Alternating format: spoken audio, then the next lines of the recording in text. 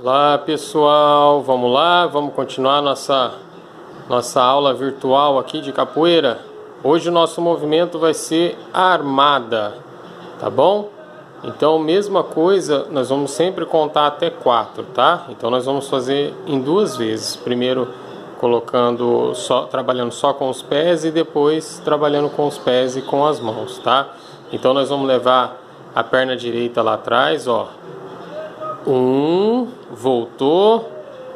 Dois, girou. Três, voltou.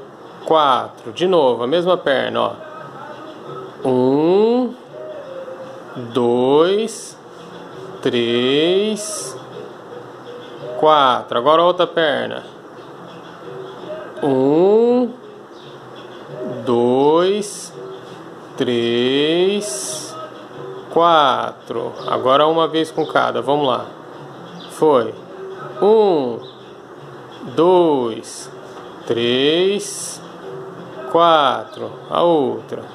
Um, dois, três, quatro. Legal. Vamos exercitar. Armada.